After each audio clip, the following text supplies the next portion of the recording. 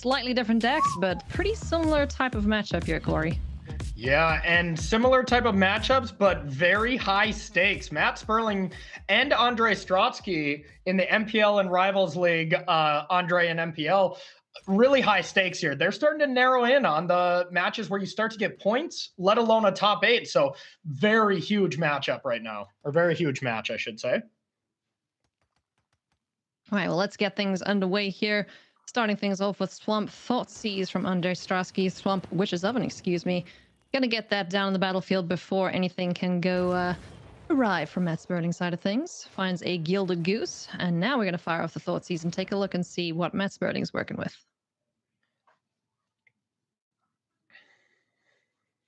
What would you take here, Corey? Um, you know, the big problem being Yasharn for these sacrifice decks, though we do have the answer to it with Chandra, so maybe that's not the card you deal with.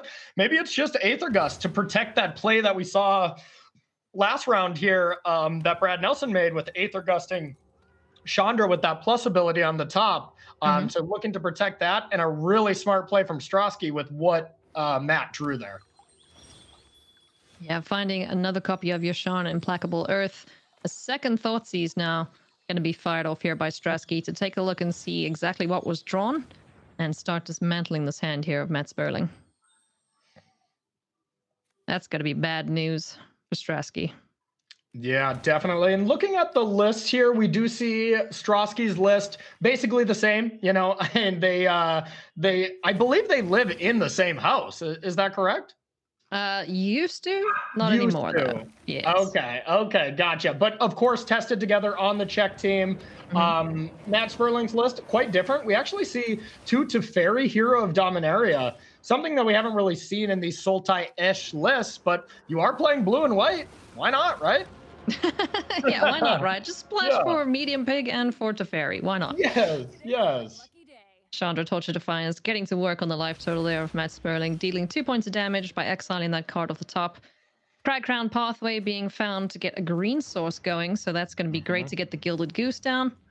First things we... first, let's get Chandra going. Here we go again. I believe we're going to see this reason why Chandra isn't exact. Oh, didn't we have? Interesting. Yeah, Matt didn't want to Aether Gust that. I'm baffled. I'm baffled. That seems like such a good thing to do against this uh, planeswalker here, unless we really just plan on naturally attacking it down with Nissa.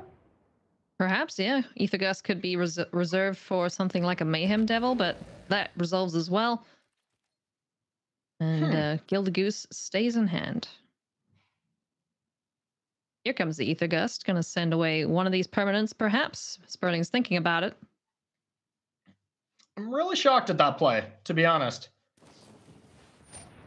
So one thing that would make a lot of sense here, if um, if if Matt had another land for Nissa, the the fact that you would just be, and I mean that's that's perfect here. The fact that it maybe prevents Andre from drawing another card next turn by putting it on top because the Planeswalker is quite good right now. Mm-hmm. And with Nissa animate a land and then animate another land the next turn, it might be pretty easy to pressure Chandra. Yeah. But without having that fifth land to for sure lock up that play, it's slightly risky, but maybe just a calculated risk that Matt is completely fine to do. Yeah, for sure. And if you don't find the lands for Nissa, then at least Yasharn can come on down and go find those that plane in that forest. But uh, we did find the land off the top. Nissa, who shakes the world, comes on down and is gonna start getting to work on the life total here, or just hang up, hang back, and uh, be on defense. Yeah, and whatever land we pick, guessing the watery grave, um, since you do have just a one mana black card in the in the form of fatal push, you don't really have to animate one of your, you know, quote unquote super lands, the Zagoth Triome or the Abzan Triome. Um, still makes it if uh, Andre were to destroy the watery grave for whatever reason, then fatal push could take out Mayhem Devil with Revolt. Mayhem Devil's going to jump in the way of the Watery Grave. Seems to be happy to trade.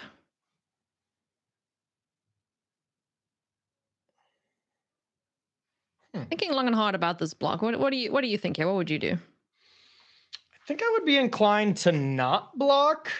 Um, and just Chandra, maybe down tick on Watery Grave. That wouldn't work out too well with the known fatal push.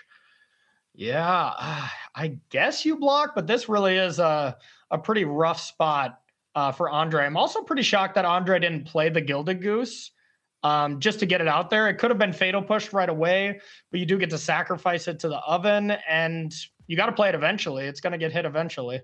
Yeah. So Mayhem Devil down and out, as well as the Watery Grave. There's the Chandra, Torch of Defiance off the top. Leaving open black mana in case of what are we looking for? Just land more damage to face. Mythos of Nethroi. Well, that's an answer for a Planeswalker. That's pretty solid here. Depending on how many cards we have in graveyard, it might just be, uh, you know, Mythros, bring back Uro if uh, the count adds up, or if anything, Yasharn, get a couple lands, untap Mythros. Chandra just seems like a insanely play, insanely good play to put Matt Sperling in the uh, full driver's seat here. Yeah, so I didn't find another land like like you mentioned. The several options here. Uh, 1st things mm-hmm. first, though, looks like we're going to go for Big Old Pig, Yasharn Implacable Earth, prevent Ooh. any sacrifice. Yeah, Actually, that's uh that's medium pig. Um, medium yeah. pig. My yeah, bad. Yeah, yeah. Sorry to correct you on that one, Ailey. My bad. It's the biggest pig in the format. Okay. okay. Okay. there we go. Finds the one forest. He's able to. And uh, I wonder when we're going to see this mythos fired off, or if we're just happy to pressure Yash. Oh, we you want to get that off the battlefield before it can minus on Yasharn, right? This is this card is just way too good. So this attack in here yeah. is going to prevent that minus three. Ooh. Oh, hey Korvold. Well, I think the play I would have made um, from Matt's side would have had me severely punished by this draw. Just getting Chandra off the battlefield with Mithros, and then Korvold would have just taken over. So excellent play by Matt, not you know, using all of his resources to deal with Chandra, which will be dealt with just naturally through combat next turn, and mm-hmm. saving that Mithros to be able to just kill Korvold um, in response to the sacrifice trigger here is going to be huge. Yeah, such versatile cards the Mythos are. Great cycle from uh, Ikoria. Yeah. Yeah, here comes the big old dragon. Korvold Fae-Cursed King is going to come on down, munch on something, draw a card, and get a counter if that's a medium dragon, I don't even life doesn't even make sense anymore because this dragon has to be the biggest one. Have you met some of the other dragons? Come now. Oh, good point. Good point. They're enormous. That's true.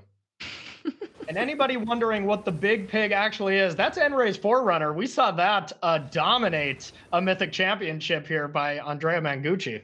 Oh yeah, Pain Bacon itself, and uh, oh, with yeah. Korvold Fae-Cursed King dealt with the mythos, mythos of Nethroi. We're going to go to game number two here. Matt Sperling picking up the first game. What does Strasky have to do differently? 100% copies exactly what Ivan Floch how how he sideboarded is going to be my guess. When a team works, you know, this closely together, you have specific plans, especially for the best deck. And we saw how fast Andre Strasky sideboarded there. This is not his first rodeo sideboarding against uh, this, this deck. So Noxious Grasps aplenty. You want to try and make sure yep. to kill the big pig, kill the Nissa, even mm-hmm. kill the Teferi.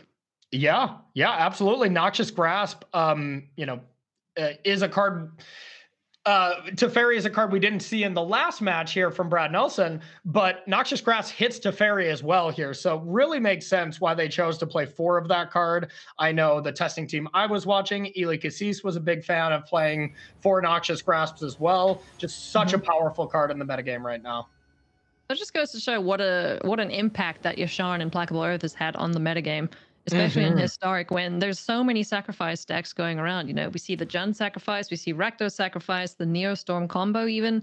It's just yeah. so good in so many matchups. And even in the matchups is not great, it's still a 4-4 body that finds your land drops. So no kidding. Yeah, a 4 4 that gets you two lands is already just an insane card. Adding that extra piece of tax really puts it over the edge. All right, so Mulligan here from Strasky is going to send back Chandra Torch of Defiance. The single ju- copy thereof. And just a snap keep there from Matt. Just has everything Oof. you want. Two lands, Growth Spiral, Yasharn. That's that's oh. enough for me right there. That that would be enough for me to keep. And this is a plenty now too, with the second yes. one being drawn. So this is looking pretty darn good here for Matt Sperling. Definitely so far. We do need some some extra lands here. Uh, you need just one more for sure for Yasharn, and then your mana problems are pretty much uh, done with. Mm-hmm. Consideration here between Midnight Reaper or Mayhem Devil? Yeah, I like getting down Midnight Reaper first, just in case a removal spell is fired off from Matt Sperling. You get that extra value. You get to draw that extra card and find a fourth land, which Andre desperately needs right now. Yes, indeed. Looking for land number three here. Ooh. Doesn't find one. Oh, okay. I said one Nissa was good. Two and three, though. Mm. Yeah, if you look at Matt's hand, uh, he has not rearranged from how he has drawn cards, and the four cards he's drawn is two Nissas, Narset, and Thoughtseize. just about the worst sequence of draws you could uh, have drawn him up here. Yeah, for sure. No fourth land is going to be a big, big problem as this Mayhem Devil makes its way onto the battlefield and we can start sacrificing things. Mm-hmm. Next turn, if we find our fourth land, Korvold's going to make an appearance too. So Matt really, really, really, really, really has to find land number four. Uh, I totally agree. Ex- Extinction event pretty strong as well. That'd be another option here. Um, but yeah, you need to have the option to play something here, Oof. and ugh, that's the real struggle from these four color decks. You know, there is just so many lands that come into play tapped that it's it, it's gonna happen that you're gonna draw your land, but it's not gonna be on time. Yeah. At least there's one play that Matt Sperling can make, and that is Narset Parter of Veils. Gonna go digging for something to help keep these three threes at bay. Finds mm-hmm. a Mythos of Nethroi. So that'll pretty come shocked, handy. Pretty shocked to even see Narset in the deck post board. Um, mm-hmm. This is a card, you know, in, in my testing that I found to be quite bad against these sacrifice decks, especially when you're on the draw. On the play, you can really, you know, do some nice things with it. Uh, but on the draw, it was it was pretty brutal. But shutting down the drawing ability of Korvold is definitely relevant. Now we see a thought Thoughtseize here from Strasky taking a look at this loaded hand. That's uh, so many options. What do you choose here? Snap take one of those Nissa. No, I'm just totally kidding. That that is for sure what you would not want to take. They are not that great in multiples. I think for me, no chance I'm taking Nissa or Thoughtseize. Um, it's Extinction Event, Yasharn, or Mythros would be my considerations. Um, with your opponent being light on land, I think Yasharn is probably the one you would want. But Extinction Event is very good right now. Yep, Extinction Event's going to clean up this battlefield, but uh, Mayhem Devil will make sure that Narset Parter doesn't go digging further into the library, and another Planeswalker, Teferi Hero of Dominaria, drawn off the top. Not it's ideal. Not going here. well. And at this point, Matt would really like to, uh, you know, save Extinction Event for this Korvold that he doesn't know about. But at this point, you might not have a have a real choice. But oh, okay, I like I like this. What we're doing here looks like Matt is lining up Mithros on the Midnight Reaper. You're going to sacrifice this to draw a card, deal a damage, and then you have two cards to look at to maybe get a target with this Thought Thoughtseize. Little, nice. Very you know, we, nice. We already know that there was going to be one juicy target, um, but it could have been a land, that last card. Could have been, and manages to find the Korvold Fae-Cursed King, so that won't be the next play as a Blood Crypt is drawn off at the top of the library. So very nice sequence there from Matt Sperling. But still down at seven. Yeah. Needs to find removal and does with the Mythos of Nethroi. Could fire off that extinction event too, but uh, Mythos of Nethroi will help just keep things in check after this extinction event resolves. Just the worst case scenario there for Andre. Just needed to really find anything. He's so far ahead, and drawing land land there was just mm. so brutal. And like this was really the only way Matt could come back into this game is if just Andre flooded out horribly. So yeah. little unfortunate for Andre and a nice sigh of relief for Matt.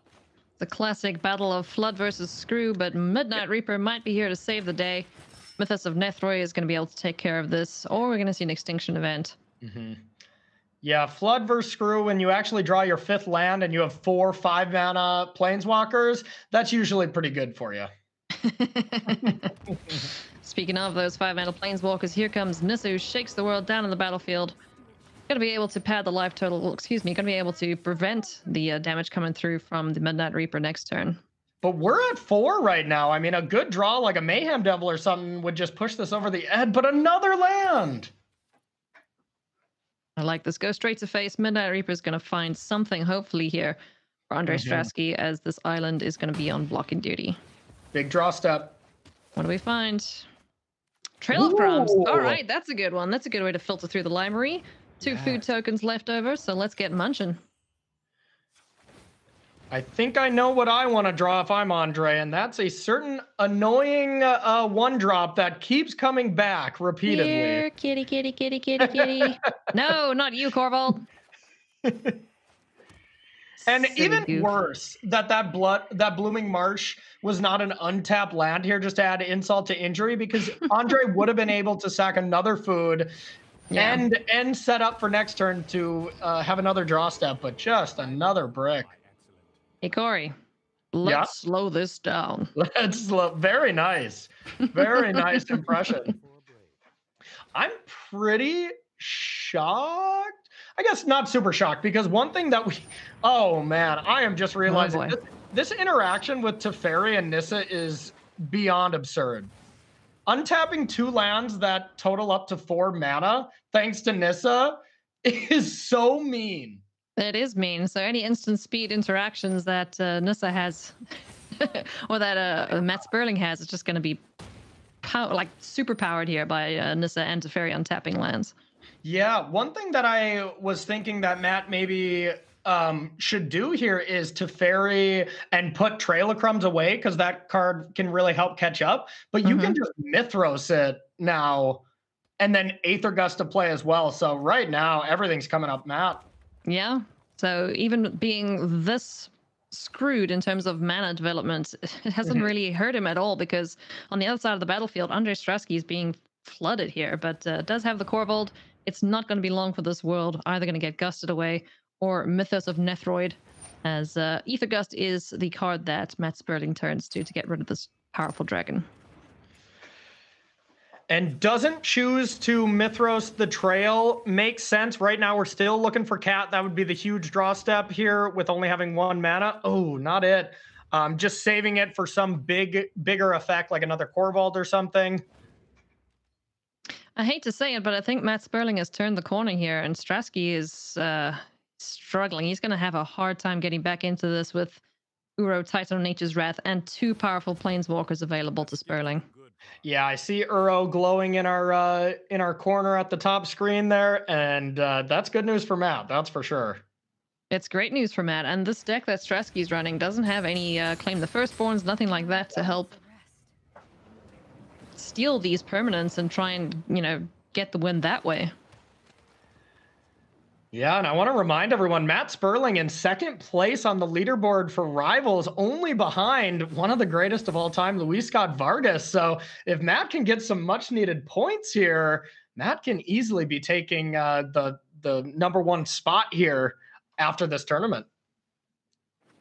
Very much could. Everything's on the line here for these players, as uh, we're going to see two lands swing in and start doing damage. Put the foot down. The beatdown is very much Matt Sperling. Noxious Grasp is the draw. Is it too little, too late though?